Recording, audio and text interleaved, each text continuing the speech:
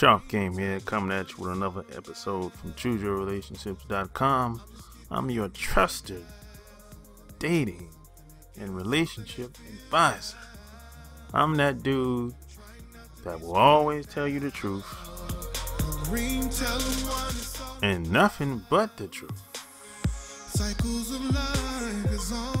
So, yeah, the rules that women give most guys in society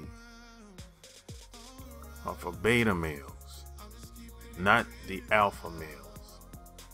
And if you've been following me for a while, you know that I always say if your woman is not submitting to you, whether it's your girlfriend, your wife, etc., if she's not submissive to you, she ain't your woman. She's somebody else's woman. You've lost her to somebody else. You've lost her to the preacher at church, the boss at her job, to her friends, somebody else. But she ain't your woman. And the reason why I say this is because see when when your girl, your wife, whatever you see her as, when she goes elsewhere, when she leaves the house, goes to the job, oh man, she's walking on pins and needles at the job. She's very submissive. She's she's very tactful what she says there.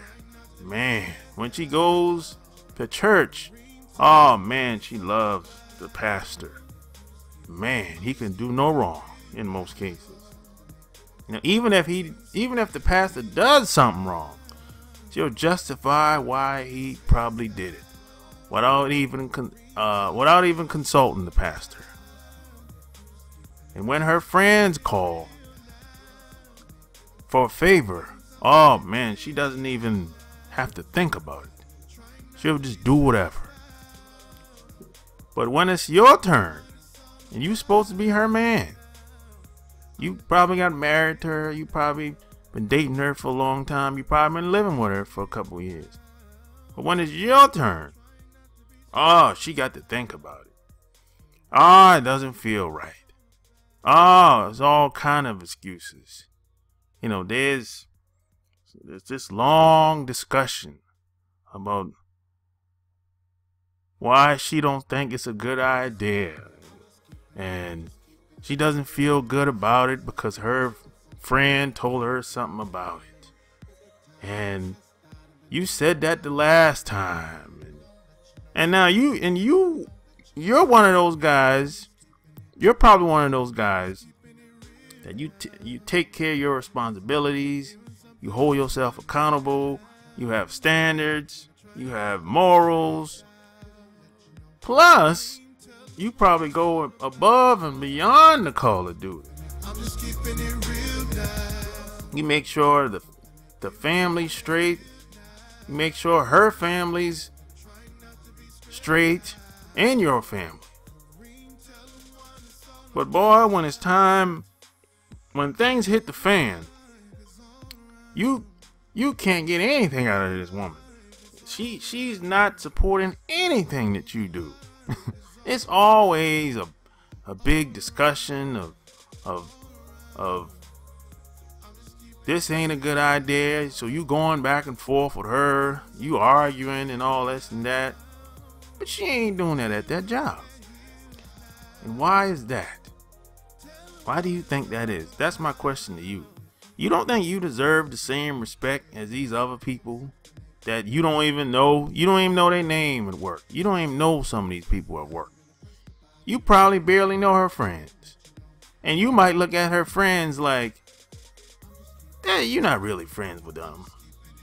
They, they just, you're just something to do to them. You can see it, but she can't see it. But she, hold, she hold them to a higher standard, like higher in higher regards but you, no, it's a different story. And all of this is just a lack of respect. That that's all it is. You know. Now see she she she when it comes to you, she everything is is condi- there's conditions to everything when it comes to you.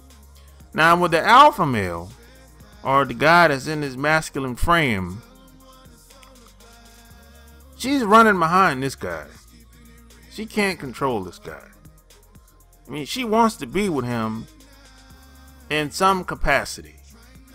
I mean, as a matter of fact, there's some women that get with these guys, just as myself, but they don't have a lot of rules with us. Not at all. They, because a lot of these women know I can't control this guy. So either I'm in or I'm out with this guy. You know, that's how it is with the alpha male. And that's how it's always been. But when it comes to the beta males, oh man, everything look everything looks good on the surface, man. I mean, she plays the part. Everything's perfect. Brilliant. The best actors in society. Beta males make the world go round. That's how it is. But below the surface, a lot of these women are miserable. a lot of these women are miserable. A lot of these women can't stand to be around the guy that they got married to. Or at least the guy that they quote quote committed to on the surface. Because in reality, they didn't really commit to the to the relationship. They didn't really commit to the guy. They just committed to the nest. They committed to the nest, not to the guy, not necessarily to the relationship. And now she's not being fulfilled. She's really not happy so as time go on, you know, she gotta slip out and be with the alpha male. and and you know and it, it, it could be a one, every once in a while thing or it could be an ongoing thing on the side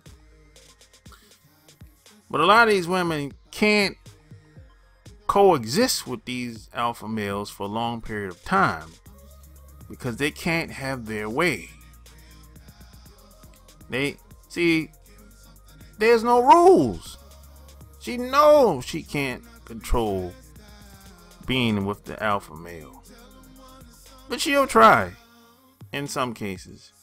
But the majority of time, they'll settle with the beta guy. Because the beta guy, you know, they can kind of control the relationship, manipulate him, and you know, for the most part, the relationship is gonna go the way she wants it to go. She's being taken care of because the beta male is the It's a good provider. He's a nice guy. You know, he does what he's told. He puts on a pedestal.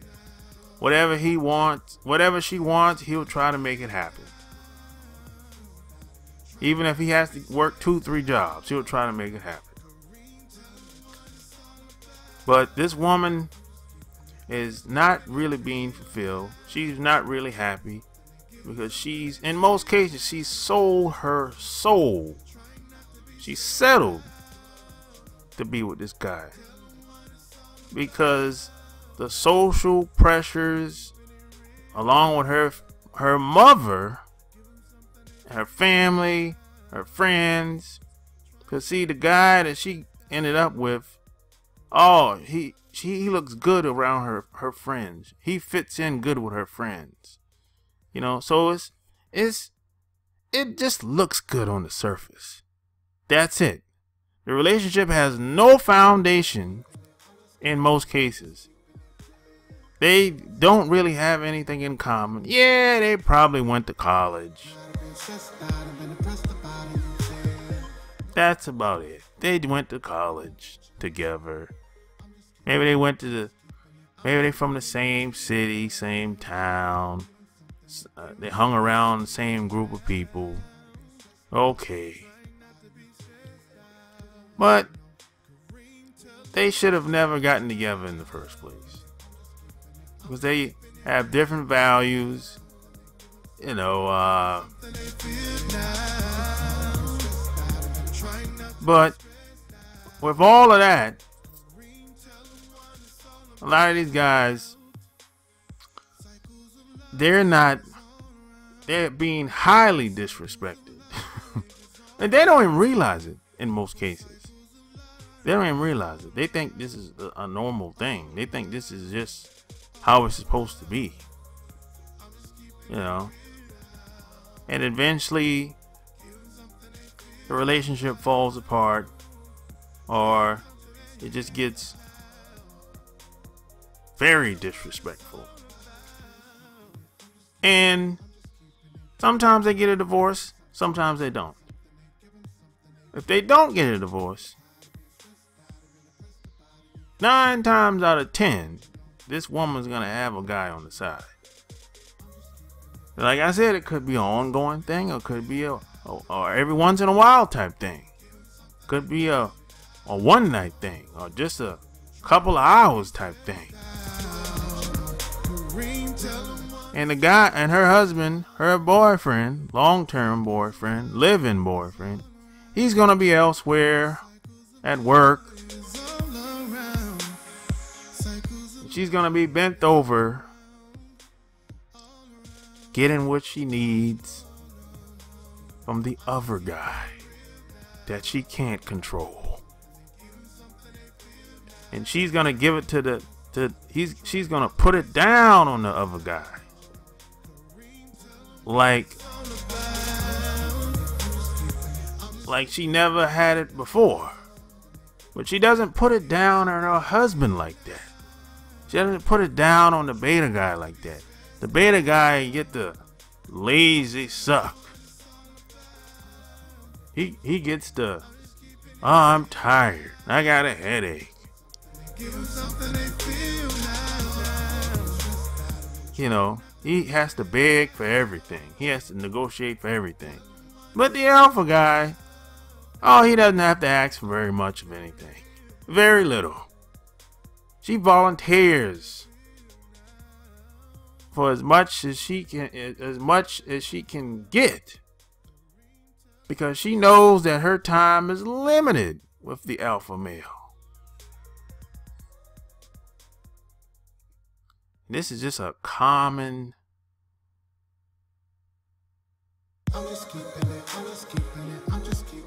travesty in this society. That's what I call it. A common travesty.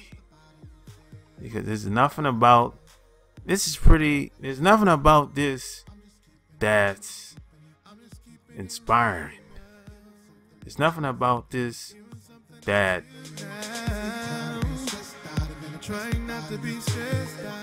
that you're gonna hear within the mainstream media. And the reason, and you might be asking, why am I telling this story? Because I see, I've been on both sides of the coin. I've been the guy in my early 20s that used to put women on a pedestal, tried to make them like me because I just didn't know any better. And I just didn't know any better. And it, it didn't work until I changed my approach. And then I became the guy on the other side of the coin.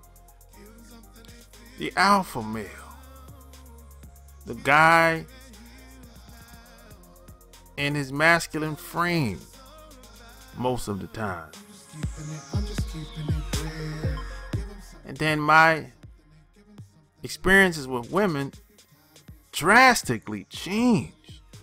It was almost unbelievable what was happening.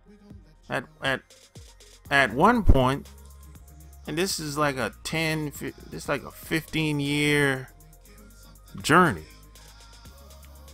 Uh, some of the stuff that was happening, women were doing, I was like, "Whoa, man, I didn't expect that to happen." So, so now as I've gotten older and wiser, you know, I, you know, at I can kind of play both sides of the coin if I really want to because I have the experience and I pretty much can can can predict the outcome. So, because you have to understand, it's in this world that we live in, it's a mind game. It's a mind game. That that you know that's what it's all about today. If you can't control your mind, you're going to lose, and you're you're going to be taken advantage of, and you're going to become sheep. So hey, tell me what you think about this video. Tell me what's been your experiences when you put women on a pedestal. When you made them to be the center of your life. They say happy wife, happy life, right? If that's the case, how come a lot of relationships aren't working? So there's obviously there's something's going on in society. Maybe that's work for you. Maybe not. I would like to hear about it in the comment section below. So, hey, you tell me your experience. Like, share, subscribe. I'm out. Peace.